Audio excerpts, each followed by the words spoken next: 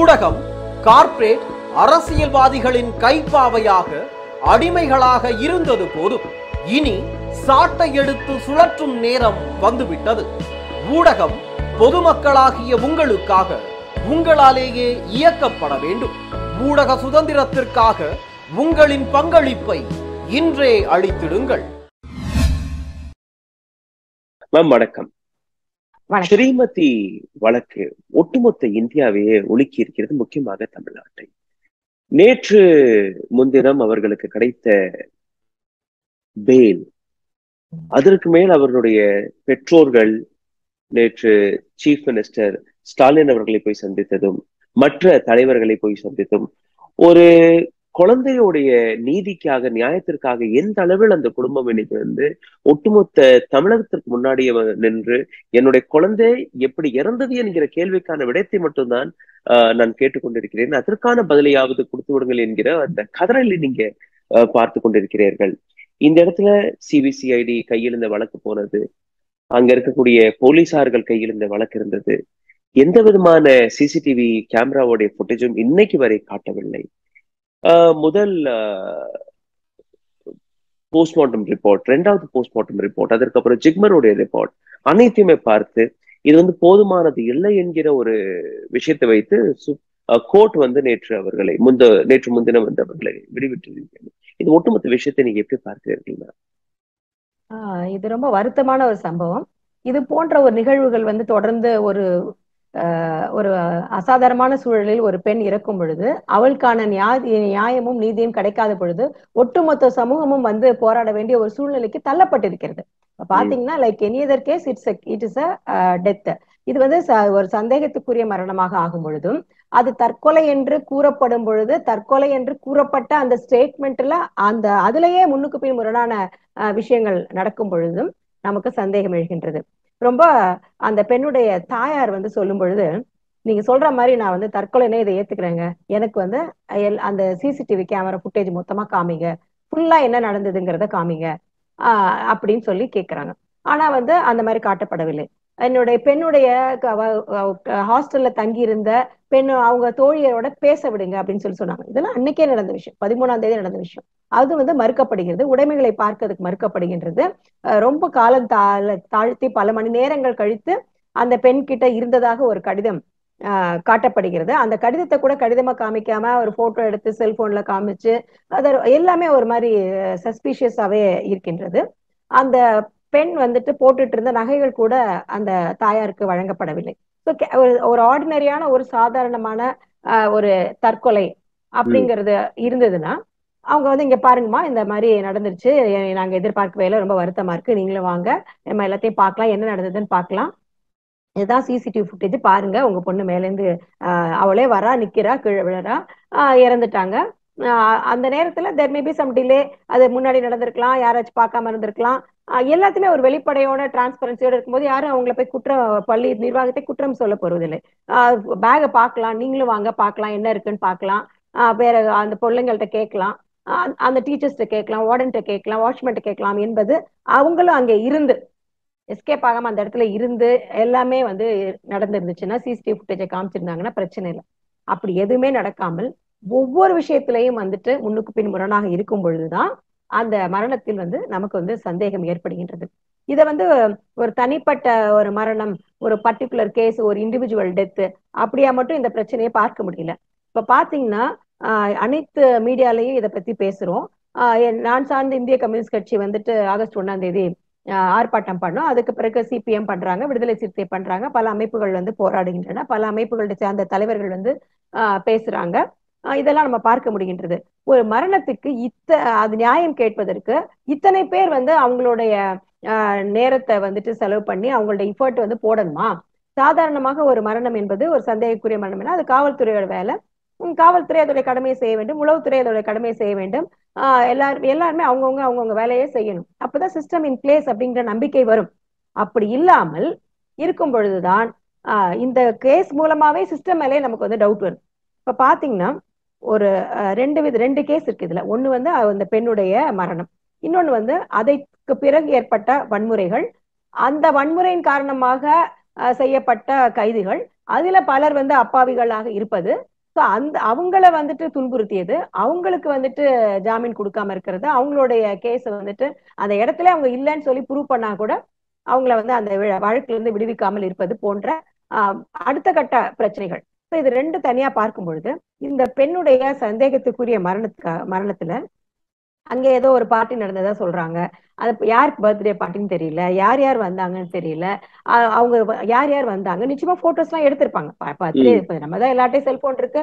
Any party there will be lot of photos so அப்ப யாருடைய birthday எத்தனை பேர் வந்தாங்க? யாராச்சும் விஐபி வந்தாங்களா? அவங்க வந்துட்டு யார் யாரோட பேசினாங்க? எவ்வளவு நேரம் இருந்தாங்க? எத்தனை மணிக்கு வெளில போனாங்க? யார் யாரோட செல்போன் தொடர்புல இருந்தாங்க?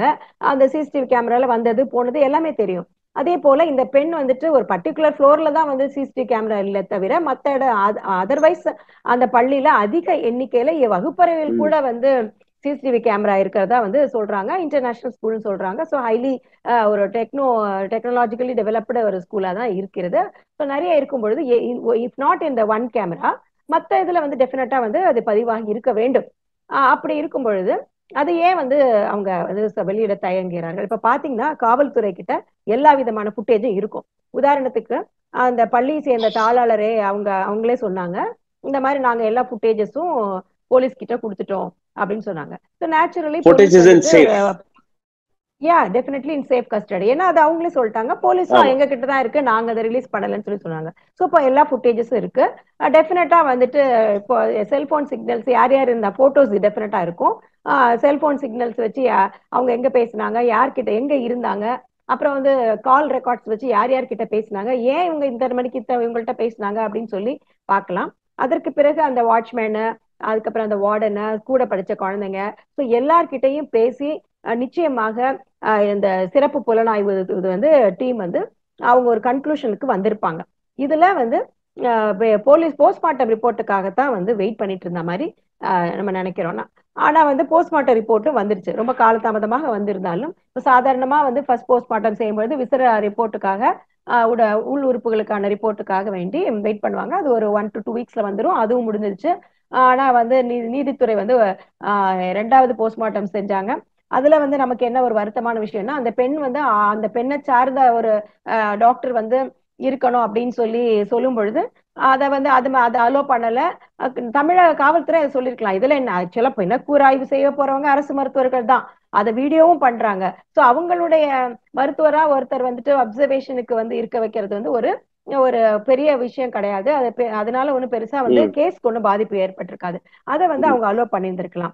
வேறு ஒரு வழக்கு ஒரு சாதாரண ஒரு வழக்கு குடும்ப நல நீதிமன்றத்துல இருந்த ஒரு வழக்கு ஒரு டைவர்ஸ் கேஸ் ஆக்சுவலி அந்த டைவர்ஸ் கேஸ்ல வந்துட்டு ஆஹ் அவர் வந்து பணம் கொடுக்க கூடாது ஒய்ஃபுக்கு வந்துட்டு ஜீவனாம்சம்லாம் கொடுக்க கூடாதுங்கிறதுக்காக வேண்டி அந்த கேஸை வந்து ட்விஸ்ட் பண்ணி ஆஹ் இந்த எனக்கான குழந்தை வந்து இந்த அவங்களுக்கான ஒரு குழந்தை இருக்கு. அந்த குழந்தை எனக்கே பிறந்ததே இல்லைன்னு சொல்லி அவர் வந்து எடுத்துட்டு போறாரு. ஆப்வியஸா தெரியுது ஜீவனாம்சம் கொடுக்க கூடாதுங்கிறதுக்கு அந்த வழக்குலயே வந்துட்டு சென்னை உயர்நீதிமன்றத்துல ஆஹ் அவங்க வந்து ஒரு பெட்டர்னிட்டி டெஸ்ட் பண்ணும் பொழுது அந்த டெஸ்ட் பண்றதுக்கே வந்து அந்த பாதிக்கப்பட்ட பெண்ணுடைய அவங்க உங்களை சார்ந்த ஒரு மருத்துவர் வந்து இருக்கட்டும் அப்படின்னு சொல்லி சொல்லி அந்த எனக்கு வந்து குடும்ப நல நீதிமன்றத்துல இருந்து நீங்க வந்து இந்த வழக்குல அவங்களுக்கு அந்த பெண்ணுக்கு சார்பா ஜஸ்ட் யூ பி தேர் அப்சர்வரா இருந்து எல்லாம் சரியா நடக்கிறதா என்று பாருங்கள் அப்படின்னு சொல்லி சொன்னாங்க. அதுக்கு ஒரு காரணமும் இருந்தது. அங்க ஒரு பயஸ் இருப்பது நடப்பதற்கான வாய்ப்பு இருக்கிறது என்று கூறப்பட்டது. அதுல வந்து நீதிபதியும் கன்வின்ஸ் ஆகி தான் வந்து இது பண்ணாரு. அந்த ஒரு ஒரு தேர்ட் பர்சனா ஒரு நியூட்ரல் பர்சனா எனக்கு வந்து ஒரு அறிவிக்கை வந்து நான் போயிட்டு வந்துட்டு இருந்தேன். ஒரு சா- அப்ப இதெல்லாம் வந்து இது போன்ற ஒரு நடைமுறைகள் எல்லாம் கோர்ட்ல இருக்கு. சாதாரணமா. நடக்கிறது. அப்போ வந்து ஒரு அப்சர்வரா ஒரு ஓரமா வந்துட்டு நின்னு அந்த பெண்ணுக்கான இருக்கிறதுல வந்து மருத்துவர் இருக்கிறதுல ஒன்றும் பெரிய தப்பு கிடையாது. இன்னொரு விஷயம் என்னன்னா அந்த பெண்ணோட பெற்றோர்கள் வேணா இருக்கலாம் அப்படின்னு சொல்லி. சொன்னாங்க. இப்ப நாங்க உண்மை அறியும் குழுல போகும்போது அந்த பெண்ணோட பெற்றோர்கள்னு சொன்னாங்க. நாங்க பெண்ணுடைய பெற்றோர்கள் இருக்கலாம் அப்- அப்படி உறவினர்கள் இருக்கலாம்னு சொல்லும்போது அது அது எப்படி எங்களால் அதை பார்க்க முடியும்? என்னோட பெண்ணோட உடலை வந்துட்டு வந்துட்டு கூராய்வு செய்வது கீறுவதையும் பார்க்கும்போது எனக்கு மயக்கம் தான் வரும். I am not technically sound person I don't know அது. அதை பார்த்தாலும் எனக்கு ஒன்றும் தெரிய போறதில்ல பார்த்தாலும் எனக்கு வந்து உணர்வுகள் மே மேலிட்டு எனக்கு வந்து தாங்க முடியாம தான் இருக்குமே தவிர அதனால எந்த பலனும் இல்லை. எங்களுக்கான எல்லாம் சரியாகத்தான் நடக்கிறது என்று பார்ப்பதற்கு எங்களுக்கு சேர்ந்த ஒரு மருத்துவர் இருக்கணும் அப்படிங்கிறதான நம்ம வந்து சொல்றோம் அப்படின்னு சொல்லி சொன்னோம். அது வழங்கப்பட்டிருக்கலாம். அதுவும் ஒரு வருத்தமான ஒரு விஷயம் தான் ஏனென்றால் நீதித்துறையும் அது வேண்டாம் அப்படி என்று சொன்னார்கள். அதற்கு பிறகு இரண்டாவது போஸ்ட்மார்ட்டம் பண்ணி அதற்கு அந்த ரிப்போர்ட் வரத்துக்கு ஜிப்பருடைய அனாலிசிஸ் வரத்துக்கு ஒன் மந்த் டைம் uh, கொடுத்துட்டாங்க. ஸோ அப்போ அதுவும் முடிந்து கிட்டத்தட்ட நாற்பத்தைந்து நாட்கள் ஆகிவிட்டது. ஸோ இந்த நேரத்துல uh, காலம் தாழ்த்தப்பட்ட ஒரு நீதி வந்து நீதியாக இருப்பதற்கு வாய்ப்பே இல்லை. நீங்கள் குறிப்பிட்டது போல ஏ ஒன் அக்யூஸ்ட் உட்பட uh, சம்பந்தப்பட்டவர்கள் அனைவருமே வந்து பிணையில வெளியில வராங்க. அவங்க வந்துட்டு எப்பவுமே நம்ம சொல்ற விஷயம்தான். பிணையில வரலாம் அது அவங்களோட ரைட் அதெல்லாம் நம்ம வந்து மறுக்கவில்லை. ஆனா ஒரு ஏ ஒன் உட்பட அனைவரும் பிணையில் வ- வரும் பொழுது அவங்க நிச்சயமாக சாட்சியை கலைப்பதற்கான வாய்ப்புகள் இருக்கின்றது.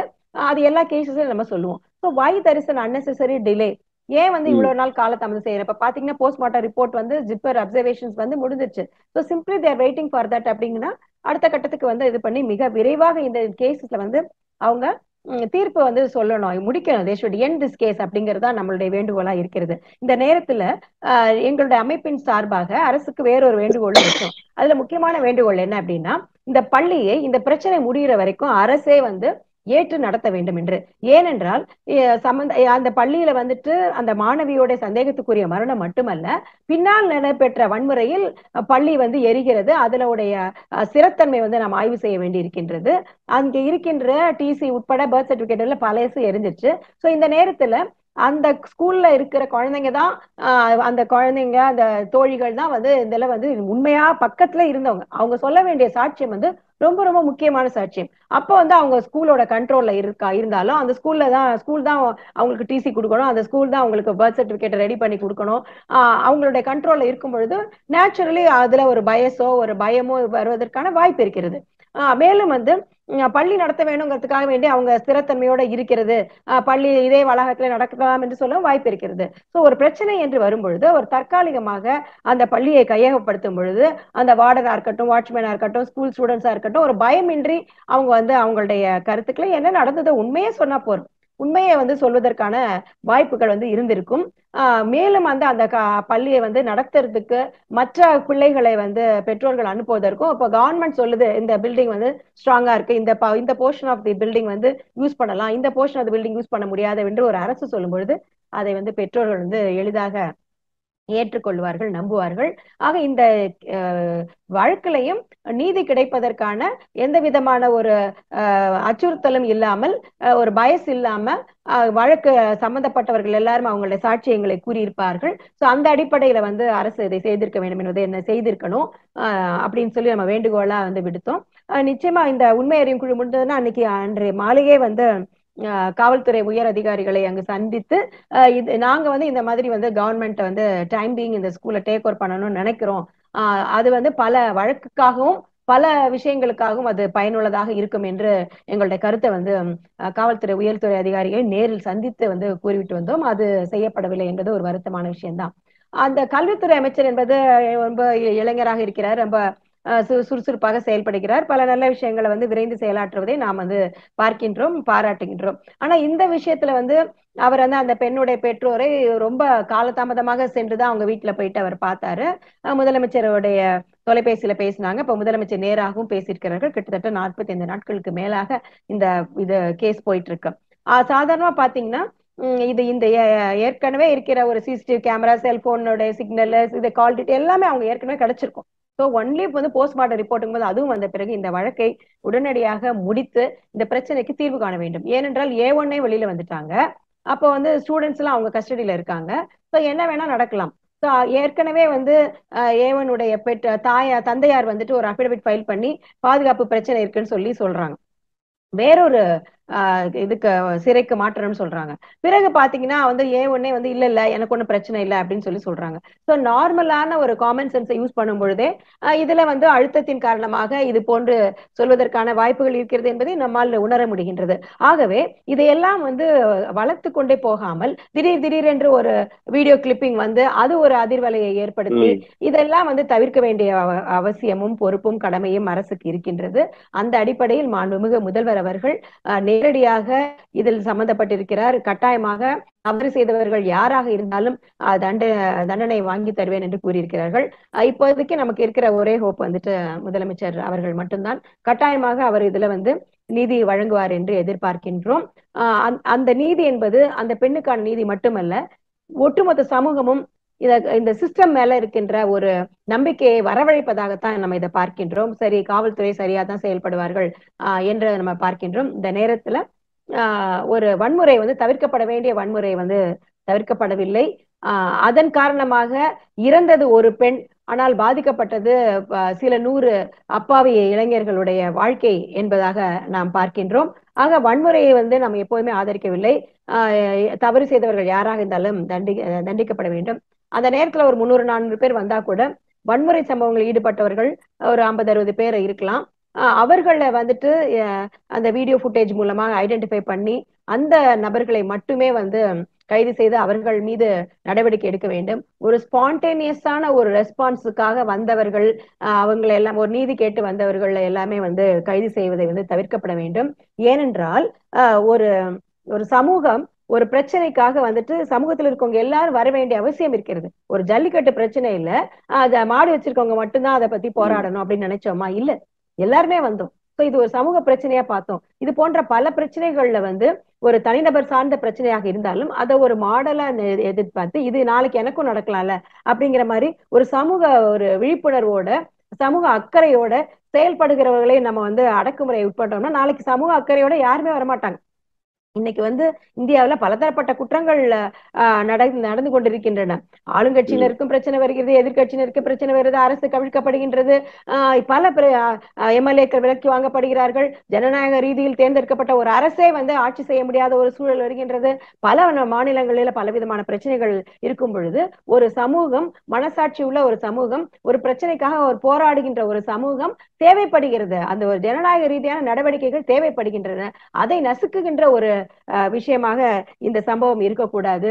தவறு செய்தவர்கள் தண்டிக்கப்பட வேண்டும். வன்முறையில் ஈடுபட்டவர்கள் தண்டிக்கப்பட வேண்டும். வன்முறையில் ஈடுபடாதவர்கள் அந்த நேரத்தில் அங்கு இல்லாதவர்கள் ஜஸ்ட் ஒரு அந்த வேடிக்கை பார்க்க போனவங்க ஆஹ் ஒரு- எழுச்சியின் காரணமாக போனவர்கள் ஒரு ஆதரவு தெரிவிக்க வேண்டும் என்று போனவர்கள் அவங்களெல்லாம் வந்து கட்டாயமாக இந்த வழக்கிலிருந்து விடுதலை செய்ய வேண்டும். ஆஹ் அது ரொம்ப முக்கியமா இருக்கிறது. ஆக இப்ப ரொம்ப காலதாமதம் ஆக ஆக பலர் வந்து ஜெயில இருக்காங்க அவங்களுக்கு பிணை கிடைக்க மாட்டேங்கிறது. அவங்க வந்து எக்ஸாம் எழுத முடியல ஸ்கூலுக்கு போக முடியல காலேஜ் போக முடியல அவங்களுடைய வாழ்வாதாரம் பாதிக்கப்பட்டிருக்கிறது. இதையுமே வந்து முதலமைச்சர் வந்து ஆஹ் ஒரு போர்க்கால அடிப்படையில் இந்த பிரச்சனைக்கு ஒரு முடிவு காண வேண்டும். ஆஹ் இது வந்து ஒரு சின்ன பிரச்சனை எங்கேயோ நடந்தது என்று பார்க்காமல் ஒட்டுமொத்த தமிழகமே அதை இந்த பிரச்சனையை பார்க்கின்றது. அப்ப வந்து ரோட்ல நடந்தாலே வந்து பொடிச்சு போட்டுருவாங்களா? யாரை வேணா அரெஸ்ட் பண்ணிடுவாங்களா? யாரை வேணா அரெஸ்ட் பண்ண முடியுமா? என்ற ஒரு சூழல் இருக்கின்றது. நாங்க வந்து அவங்கள களத்துல ஆய்வு செய்யும் பொழுது சில பெற்றோர்கள் வந்து சொன்னாங்கன்னா எங்களுக்கு வந்து பயமா இருக்கு. யாரை வேணா இவங்க அரெஸ்ட் பண்றாங்க. அதனால எங்க பிள்ளைங்களெல்லாம் நாங்க வந்து வேற ஊருக்கு வந்து அனுப்பி வச்சிருக்கோம். இங்க ஏன்னா ஆறு மணி மேல ஆனா உள்ள வராங்க. ஒரு குறிப்பிட்ட ஜாதியினை சேர்ந்தவர்களும் சேர்ந்தவர்கள் அந்த அந்த ஜாதியில சேர்ந்த இளைஞர்களையும் படித்த இளைஞர்களையும் ஆஹ் வந்து குறிப்பு குறிவைத்து ஆஹ் அழைத்து செல்கிறார்கள். காவல்துறை மட்டுமல்ல வேறு சில நபர்களும் அங்க வந்து ஒரு தலைக்கட்டு மாதிரி இருந்துட்டு யாரை வேணா வந்து கூட்டி ஒரு பெரிய வண்டியில வராங்க. பசங்களெல்லாம் வண்டியில ஏத்திட்டு போறாங்க. அப்புறம் காவல்துறையில போயிட்டு அவங்க மேல வழக்கு பதியப்படுகிறது போன்ற விஷயங்கள் எல்லாம் சொன்னார்கள். இது எல்லாமே வந்து ஒரு ஜனநாயக நாட்டில் நடக்கக்கூடாத சம்பவங்கள். தவறு செய்தவர்களை மீது தண்டனை கைது செய்வது தண்டனை இருப்பது ஆனா யாருமே எப்பவுமே சொல்லல. ஒரு பிரச்சனைக்கு ரியாக்ட் பண்ணும்போது அதை போய் அதை அந்த டிசியை எரிக்கிறது அப்புறம் ஹார்ட் டிஸ்கை உடைக்கிறது பர்த் சர்டிபிகேட் எரிக்கிறது இதெல்லாம் ஏற்றுக்கொள்ள முடியாத ஒரு விஷயம். அது எதற்காக செய்தார்கள் யார் செய்தார்கள் என்ன அடிப்படையில் செய்தார்கள் என்பதை புலனாய்வு செய்ய வேண்டும் என்பது வேறு. அதே நேரத்தில் அப்பாவி இளைஞர்களை வந்து தண்டிக்கப்படக்கூடாது என்பதையும் நாம் பார்க்க வேண்டியிருக்கின்றது. ஆகவே இந்த ஒட்டுமொத்த பிரச்சனையையும் முதலமைச்சர் சிறப்பாக கையாண்டு அனைவருக்குமான நீதியை விரைந்து வழங்குவார் என்று எதிர்பார்க்கிறோம் நம்புகிறோம். மேம் கடைசியில ஒரு க்ளோசிங் ரிமார்க்ஸ் உங்கள்கிட்ட கேட்கிறேன். நீங்க ஃபேக்ட் ஃபைண்டிங் கமிட்டில இருந்தீங்க. உங்களுக்கு முன்னாடியும் பல்வேறு விதமான கேள்விகள் வந்திருக்கும் எங்களுக்கு முன்னாடியும் வந்தது. இதே போன்றுதான் ஸ்ரீமதியுடைய தாயார் செல்விக்கு முன்னாடி வந்தது. அவர்கள் வாயிலிருந்து வரக்கூடிய பல்வேறு விதமான கேள்விகள். இந்த கேள்விகள் நிச்சயமாக நீதிமன்றத்துக்கு முன்னாடி வந்திருக்கும்.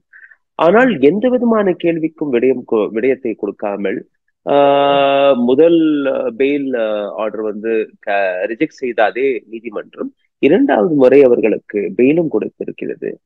நீங்க எடுத்து வைத்த பல்வேறு விதமான விளக்கங்கள் அதாவது யூனோ இன்வெஸ்டிகேஷன்ல வந்து அவங்க ஏதாச்சும் இன்ஃபுளுன்ஸ் செய்ய போறார்கள். அதே போன்ற பல்வேறு விதமான ப்ரூஃப்கள் அளிக்கக்கூடிய விஷயங்கள் இருக்கு. சிசிடிவி ஃபுட்டேஜ் போலீஸ் ஸ்டேஷன்ல இருக்கு இப்போ சிபிசிஐடி கையில இருக்கு. எதற்காக இவர்கள் வந்து வெளியில விட மாட்டேங்கிறாங்க? ஸோ இத்தனை கேள்விகள் இருந்த பின் கூட இவ்வளவு இன்ஃபுளுன்ஸான ஆப்போசிஷன் இருக்கும்போது கூட அந்த டீம் இருக்கும்போது கூட எப்படி நீதிமன்றம் இது போன்ற வழக்குகளில் பெயில் கொடுப்பதில் இவ்வளவு சீக்கிரமாக இந்த விஷயத்தை எடுத்து வைத்திருக்கிறார்? ஆக்சுவலா வந்து இந்த பிரச்சனையில வந்துட்டு ரெண்டு மூணு பிரச்சனைகள் இருக்கிறது. இதுல வந்து சிஸ்டம் வந்து நம்ம பார்க்க வேண்டி இருக்கிறது. இப்ப பிணை வந்துட்டு யார் வேணா கேட்கலாம். அது அவங்களுடைய ரைட்டா இருக்கு. ஸோ அப்படி இருக்கும் பொழுது அதை வந்து அரசு நீதித்துறை வந்து ஒரு கண்ணோட்டத்துல பார்த்து பண்றாங்க. இப்ப உதாரணத்துக்கு போதுமான அளவு வந்து எவிடன்சஸ் வச்சு அந்த பெண் எழுதப்பட்டதாக ஒரு கடிதம். அந்த கடிதத்தை வந்து நம்ம பாக்குறோம். அந்த அந்த பெண்ணுடைய நோட் புக்ஸை பாக்குறோம். இப்ப சாதாரணமாக ஆங்கிலத்தில் எழுதும் போதும் தமிழ்ல எழுதும் போதும் ஒரு குறிப்பிட்ட எழுத்த குறிப்பிட்ட மாதிரி தான் எழுதுவோம். இப்ப ஆறுனா ஆறு இப்படிதான் போடுவோம். பின்னா பி இப்படிதான் போடுவோம். அதே மாதிரி தமிழ் எழுத்துக்களும் அப்படிதான். சோ அப்படி வந்து நம்ம எளிதாக வந்து பார்க்கக்கூடிய ஒரு விஷயமா இருக்கு. அதையும் தாண்டி ஹேண்ட் ரைட்டிங் எக்ஸ்பர்ட்ஸ் இருக்காங்க. சோ அந்த கடிதம் என்பது உண்மையாக அந்த பெண்ணால் எழுதப்பட்ட கடிதம் தானா? அப்படிங்கறது வந்து அது ஆம் இல்லை அப்படிங்கும் பொழுது பல பிரச்சனைகள் வருது. அப்ப ஆமா அப்படின்னு சொல்லி வரும் பொழுது அதுல வந்திருக்க நம்பகத்தன்மை பிரச்சனை. ஏன்னா அதுல குறிப்பிடப்பட்ட டீச்சர் வந்து அந்த பெண்ணுக்கு கிளாஸ் எடுக்கவே இல்லை. அப்படி இருக்கும்பொழுது எப்படி அந்த அந்த பெண்ணோட பேர் வருது? அப்ப சம வேற டீச்சர்ஸ் வந்து கிளாஸ் எடுத்திருக்காங்க. அப்புறம் வந்து இப்பதான் அகடமிக் ஏரியா ஸ்டார்ட் ஆயிருக்கு. ஒரு பெருசா நிறைய டெஸ்ட் எல்லாம் ஒன்றும் பெருசா நடக்கல. அது டெஸ்ட்ல வந்து புவர் அகடமிக் பர்ஃபார்மன்ஸ்ங்கிற மாதிரி எதுவும் இல்ல. ஸோ இது மாதிரி பல சந்தேகங்கள் வருகின்றது. It's not only the handwriting அவ்வளோடது இல்லைங்கிறது அப்படின்னு அந்த அம்மா சொல்றது மட்டும் இல்ல. அந்த அகடமிக் பர்ஃபார்மன்ஸை பத்தின ஒரு இது இப்போ ஒருவேளை வந்து ஒரு திடீர்னு போறோம் கொஞ்சம் கம்மியா படிக்கிறோம் அப்படின்னு கூட இருக்கலாம். பட் தற்கொலை அளவுக்கு முடிவுக்கு போகணும்னா நிச்சயமா வந்து அது வந்து கூட இருக்கிறவங்கள்ட்ட இல்ல பெற்றோர்கள்ட்ட இந்த மாதிரி என்னால படிக்க முடியல படிக்க எனக்கு ஈக்குவேஷன்ஸ் வரல எனக்கு பயமா இருக்கு. எதையா ஒண்ணு வந்து அவங்க ஷேர் பண்ணியிருந்திருக்கணும். ஸோ அந்த மாதிரியும் எதுவுமே இல்லை. ஸோ இதெல்லாம் வந்து யோஜனை இருக்கு. அதே மாதிரி மற்ற காதல் விவகாரம் பார்க்கும்போது நிச்சயமா மற்ற எவிடன்சஸ் எல்லாம் இருக்கும். இருந்திருக்கும் ஏனென்றால் எப்பயோ ஒரு சில ஆண்டுகளுக்கு முன்பாக எழுதப்பட்ட ஒரு கடிதத்தின் சில துகள்கள் மட்டுமே வந்துட்டு எவிடன்ஸா இருக்கிறதுக்கான வாய்ப்பே இல்லை. பல பல எவிடன்சஸ் வந்துட்டு இருக்கும். ரெண்டு பேர் சம்மந்தப்பட்டிருக்காங்கன்னா பல எவிடன்சஸ் இருக்கும். ஆக அது அந்த பெண்ணுடைய தாயார் என்ன சொல்றாங்க? இது தற்கொலையாக நீங்க சொல்றீங்க. அதை கூட நான் ஏற்றுக்கொள்கிறேன். அதை நீங்க வந்து என்ன நடந்தது என்பதை வெளிப்படைத்தன்மையுடன் மறைக்காமல் ஒன்னு முன்னுக்கு பின் முரணாக பேசாமல் நீங்க வந்து அதை செய்யுங்கள் என்றா சொல்கிறார்கள். சோ அந்த அடிப்படையில் அந்த கடிதம் என்பது அந்த கடிதத்தில் அந்த பெண் தான் எழுதினாளா அப்படிங்கிறது மிக மிக முக்கியமான ஒரு விஷயம். ஆமாம் என்றால் அதோடைய ட்ராக் வேற மாதிரி போகும். இல்லை என்று சொன்னோம்னா அப்ப அந்த கடிதத்தை யார் எழுதினார்கள்? எதற்காக எழுதினார்கள்? யாரை மறைப்பதற்காக எழுதினார்கள்? ஏன் அப்படி செய்ய வேண்டும் என்ற பல கேள்விகள் எழுகிறது. சோ இதெல்லாமே வந்து அதனாலதான் சொல்றேன் கேஸ் வந்து ரொம்ப டிலே பண்ணாலே பிரச்சனை வரும். ஃபொரன்சிக் எக்ஸ்பர்ட்ஸ் வந்து ஹேண்ட் ரைட்டிங் எக்ஸ்பர்ட்ஸ் எல்லாம் ஃபாஸ்டா வந்து சொல்லிடுவாங்க. காவல் தமிழ்நாடு காவல்துறை என்பது மிக சிறந்த காவல்துறை உளவுத்துறை என்பது மிக சிறந்த உளவுத்துறை.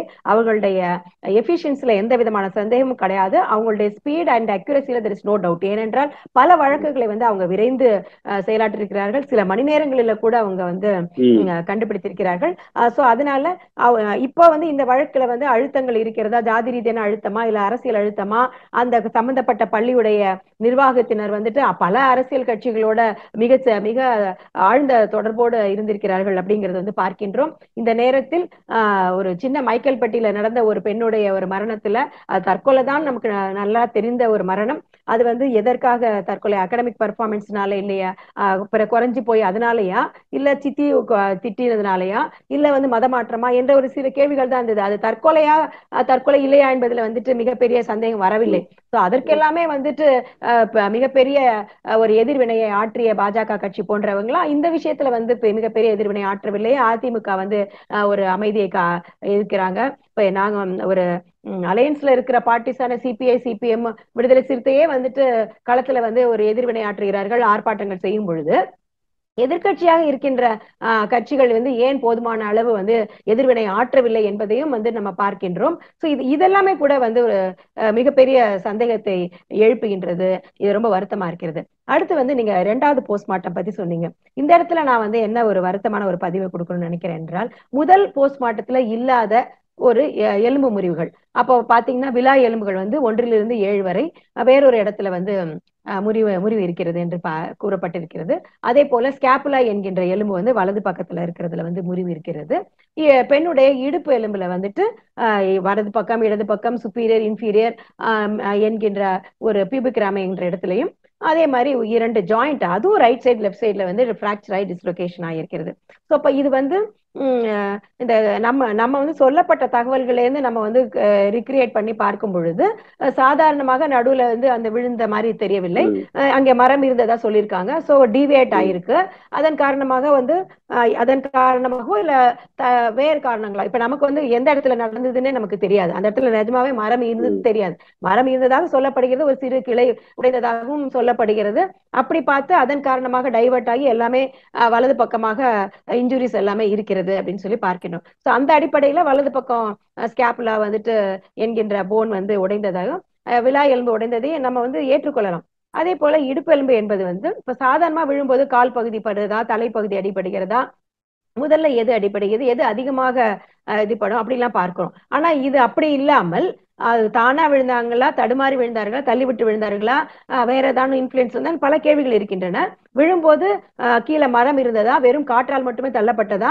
சோ எல்லா எல்லாத்தையும் வந்துட்டு நம்ம எந்த இடத்துல விழுந்தாங்கன்னு சொல்லி பார்க்கும்பொழுது அதெல்லாம் கண்டுபிடிச்சிடலாம். சோ அப்போ வந்து வலது பக்கத்துல மட்டுமே பல பாதிப்புகள் இருக்கின்றது. சோ அவங்க எந்த ஆங்கிள் விழுந்தாங்கன்னு பார்த்து அந்த இடுப்பு எலும்பு வந்து இடுப்பு மட்டும் நேரடியா வந்து தரையில லேண்ட் ஆயிருந்ததுன்னா அதற்கான பாதிப்புகள் இருக்கிறதா? சோ இதெல்லாமே வந்து ஃபொரன்சிக் எக்ஸ்பர்ட்ஸால கட்டாயமாக கார்லேட் பண்ணி சொல்ல முடியும். வெறும் போஸ்ட்மார்ட்டம் ரிப்போர்ட்டை வச்சு மட்டுமே வந்து ஒரு கேஸ் டிசைட் பண்றது இல்ல அவங்க எப்படி விழுந்தாங்க எப்படி விழுந்து கிடந்தாங்க கிரைம் சீனுடைய போட்டோஸ் பார்த்தவங்க சொன்ன போட்டோஸ் விழுந்த இடத்துல இருந்த சூழ்நிலைகள் இதெல்லாமே வந்து நம்ம வந்து பார்க்கின்றோம். மத்தவங்க சொன்ன கொராபரேட்டிவ் எவிடன்சஸ் வச்சு தான் இதை வந்து நம்ம செய்ய முடியும். ஆனா முதல் போஸ்ட்மார்ட்டத்துல இல்லாத இத்தனை எலும்பு முறிவுகள் ரெண்டாவது போஸ்ட்மார்ட்டத்துல இருக்கு அப்படின்னு சொல்லும். பொழுது ரெண்டாவது. போஸ்ட்மார்ட்டத்தை வந்து எக்ஸ்ரே எடுத்திருக்காங்க அதுல. வந்து போஸ்ட்மார்ட்டம் ரிப்போர்ட்லயே அதை போட்டிருக்காங்க body was taken to radiology department அங்க போயிட்டு எக்ஸ்ரே எடுத்தாங்க ஃபுல் பாடி எக்ஸ்ரே எடுத்தாங்கன்னு அப்ப ஏன் முதல் போஸ்ட்மார்ட்டம் செய்யும்போது ஏன் எக்ஸ்ரே எடுக்கப்படவில்லை அப்படிங்க வந்து நம்ம வந்து பார்க்கணும் இது வந்து ஒரு ஏன் வந்து அது ஒரு கைட்லைன்ஸ்ல இல்ல ஒரு புரோட்டோகால்லே இல்ல ஒரு அப்படிங்கறத நம்ம பார்க்கின்றோம். ஏனென்றால் ஒரு மரணம் என்பது ஒரு சந்தேகத்துக்குரிய மரணம் அப்படின்னு வரும்பொழுதுதான் அது வந்து பிணக்கூராய்வுக்கு வருகின்றது. அப்போ வந்து அந்த கேஸ் வந்து பிணக்கூராய்வு செய்யும் பொழுது நமக்கு அடி அந்த இன்வெஸ்டிகேஷன் ஆபீசருக்கோ அந்த மருத்துவருக்கோ அடிக்குவேட் இன்ஃபர்மேஷன்ஸ் இருக்காது. அப்புறமா வந்துட்டு சில உண்மைகள் தெரிய வரலாம். இப்ப நம்ம ஒரு கேஸ் தற்கொலைன்னு நினைச்சிருப்போம் அப்புறம் பார்த்தா அது கொலையா இருக்கலாம் அல்லது வைஸ் வர்சாவா இருக்கலாம் மர்டர் ஃபார் கெயின்னு நினைப்போம் பார்த்தா வேற ரிவென்ஷா இருக்கலாம் ஸோ பல காரணங்கள் இல்ல இன்சிடென்ட் எல்லாம் டிஃபென்ஸுக்கான ஒரு மர்டராகவும் இருக்கலாம் ஸோ எப்படி வேணா இருக்கலாம் அப்ப நம்ம பிணக்குறாய்வு செய்யும் பொழுது இப்போ என்னென்ன ப்ராபபிலிட்டிஸ் இருக்கோ அது எல்லாத்துக்கும். சேர்த்து ஒரு செக்லிஸ்ட் மாதிரி போட்டு நம்ம வந்து எல்லா விதமான கைட்லைன்ஸ் பிரகாரம் ஒரு புரோட்டோகால் போட்டு செஞ்சு அதை வந்து ரிப்போர்ட்டிங்லயும் வந்துட்டு அது வரணும். அதற்கான இன்ஃப்ராஸ்ட்ரக்சர் இருக்கணும். இப்ப பாத்தீங்கன்னா டாக்டர் வந்து போதுமான அளவு இருக்கணும். Adequate number of forensic experts இருக்கணும். அவங்க வேலைக்கு நியமிக்கப்பட வேண்டும். காலி பணியிடங்கள் நியமிக்கப்பட வேண்டும். ஆஹ் பல ஆண்டுகளாக ஒரு குறிப்பிட்ட எண்ணிக்கையில் தான் மருத்துவர்கள் இருக்கிறார்கள். நிலைமைக்கு தகுந்தார் போல் நிலைமைக்கு தகுந்தாற்போல் தேவைக்கு தகுந்தாற்போல் போல் அதிக எண்ணிக்கையில் மருத்துவர்கள் நியமிக்கப்பட வேண்டும். குறிப்பிட்ட கா நாள்ல வந்து திடீரென்று அதிக எண்ணிக்கையில் போஸ்ட்மார்ட்டம் வருதுன்னா அதற்கு தகுந்த மாதிரி டாக்டர்ஸ் ஷுட் பி டைவர்டட் அவங்களுக்கான டிஏடி எல்லாம் கொடுத்து இன்சென்டிவ் கொடுத்து நம்ம செய்யணும். ஸோ இது எல்லாமே வந்து டைனமிக்கா தான் ஒர்க் பண்ணணுமே தவிர ஒரு ஃபிக்ஸடா நம்ம வந்து ஒர்க் பண்ணவே முடியாது. அந்த நேரத்துல ரிப்போர்ட்டிங்ல ஒரு டெம்ப்ளேட் இருக்கணும். இப்ப எல்லா கேஸுக்கும் எக்ஸ்ரே எடுக்கணும். அப்ப எக்ஸ்ரே எடுக்கணும் எக்ஸ்ரே மிஷின் இருக்கணும். அது. அட்டாப்சி பண்ற இடத்துல இருக்கணும். அப்படி இல்லைன்னா வேற வழியே இல்ல. அதை எடுத்துட்டு போயிட்டு எக்ஸ்ரே டிபார்ட்மெண்ட்ல தான் பண்ணணும்னா அதை பண்ணணும். பட் பண்ணி தான் ஆகணுன்ற மாதிரி இருக்கணும். சில மருத்துவ ம- மருத்துவ கல்லூரியில தமிழ்நாட்டுல கூட தமிழ்நாட்டுல போஸ்ட்மார்ட்டம் செய்யறதுக்கு முன்னாடி சிடி ஸ்கேனே பண்றாங்க. அப்ப சின்ன சின்ன எலும்புகளுடைய முறிவுகளும் ஈஸியா கண்டுபிடிக்க முடியும். எல்லா இடத்துலயுமே. கீறி போன் ஃபிராக்சர் இருக்கான்னு பார்க்கணும்னு அவசியம் இல்லை. சார் அறிவியல் தொழில்நுட்பம் இவ்வளவு வளர்ந்திருக்க காலகட்டத்தில். ஆகவே ஒரு இந்த கேஸை வந்து ஒரு எக்ஸாம்பிளா வச்சு பிணக்கூராய்வு செய்வதில் என்னென்ன பிரச்சனைகள் இருக்கின்றது என்னென்ன மருத்துவ மருத்துவர்களுடைய பற்றாக்குறையா இல்ல மருத்துவ துறையில இருக்கின்ற அஹ், பிணக்கூராய்வு செய்ய வேண்டிய இடத்தில் இருக்கின்ற ஊழியர்கள் பற்றாக்குறையா ஆஹ், அப்புறம் இந்த அடிப்படை கட்டமைப்புல இருக்கின்ற பற்றாக்குறையா? அந்த கைட்லைன்ஸ் ப்ரோட்டோகால் ரிப்போர்ட்டிங் சிஸ்டத்துல இருக்கிற ஒரு ஒரு ப்ரோட்டோகால் எல்லாமே அமைத்து மீண்டும் இது போன்ற பிரச்சனைகள் வராமல் இருக்க பாது பார்க்க வேண்டிய பொறுப்பு அக்கறை வந்து அரசுக்கு வந்து வேணும். இப்ப என்னன்னா இப்போ மூணு பிராக்சர் வந்து எக்ஸ்ட்ராவா இருக்கு. இப்போ ஒரு போராட்டம் நடத்தி தான் செகண்ட் போஸ்ட்மார்ட்டம் பண்ணாங்க. ஒருவேளை வந்து செகண்ட் போஸ்ட்மார்ட்டம் செய்யலைன்னா அதெல்லாம் தெரிஞ்சிருக்காது. இப்போ இந்த இந்த கேஸ்ல அது எந்த அளவுக்கு பயனுள்ளதா இருக்கு அப்படிங்கறத வந்து அப்- அப்புறம். சோ ஒரு கேஸ்ல செகண்ட் போஸ்ட்மார்ட்டத்துக்கும் போஸ்ட்மார்ட்டத்துக்கும் டிஃபரன்ஸ்ல இவ்வளவு எலும்பு முறிவு இருக்குன்னா அதன் காரணம் அப்ப செகண்ட் போஸ்ட்மார்ட்டமே செய்யப்படலைன்னா அந்த இன்ஃபர்மேஷன் தெரிஞ்சிருக்காது. அந்த இன்ஃபர்மேஷன் மூலமாக அந்த கேஸை வந்து சால்வ் பண்றதுக்கான பாயிண்ட்ஸ் வந்து கிடைக்காம இருந்திருக்கும். சோ அப்ப. ஒவ்வொரு கேஸ்லயும் போராடி போராடி செகண்ட் போஸ்ட்மார்ட்டம் செய்து கொண்டு இருக்க முடியாது. அதே போல ஸ்வாப் என்பது ஃபர்ஸ்ட் டைமே எடுக்கணும். அப்படி ஃபர்ஸ்ட் டைம் எடுத்தாதான் அடிக்குவேட் இன்ஃபர்மேஷன்ஸ் இருக்கும். முதல் போஸ்ட்மார்ட்டம் செய்ததே காலதாமதம். அந்த பல போராட்டங்கள் நடத்தினாங்க மறியல் செஞ்சாங்க. காலதாமதமாக தான் ஃபர்ஸ்ட் போஸ்ட்மார்ட்டமே செய்தாங்க. ஃபர்ஸ்ட் போஸ்ட்மார்ட்டம் ஸ்வாப்ஸ் எடுத்தாங்களா எடுக்கலையா என்பது தெரியவில்லை. எடுத்ததாக கூறப்படுகின்றது. ஆனால் அந்த ரிப்போர்ட்ல வரலன்றாங்க. ரிப்போர்ட் இருக்கிறது என்று பல தரப்பட்ட நிகழ்வுகள் வ- வருகின்றது. அதுக்கு அதற்கான உண்மை நிலவரம் காவல்துறைக்கு தெரியும். ஆனா இரண்டாவது போஸ்ட்மார்ட்டம் அஞ்சாறு நாள் கழிச்சு பண்ணும் பொழுது அந்த ஸ்வாப் வந்துட்டு அது நிச்சயமா அந்த உடம்பு வந்து ட்ரை ஆயிருக்கும். அந்த இன்ஃபர்மேஷன்ஸ் வந்து கிடைப்பதற்கான வாய்ப்புகள் குறைவு. முதல் போஸ்ட்மார்ட்டம் முடிஞ்சோட பாடியை வாஷ் பண்ணி கொடுத்திருந்தா இந்த மத்த எவிடன்சஸும் போயிருக்கும். ஆகவே ஃபர்ஸ்ட் போஸ்ட்மார்ட்டம் செய்யும் பொழுதே இதை வந்து எல்லாமே சரியாக இருக்க வேண்டும். போதுமான அளவு மருத்துவர்கள் மருத்துவத்துறை ஊழியர்கள் சரியான உபகரணங்கள் சரியான வழிகாட்டுதல் எல்லாம் வேண்டும்.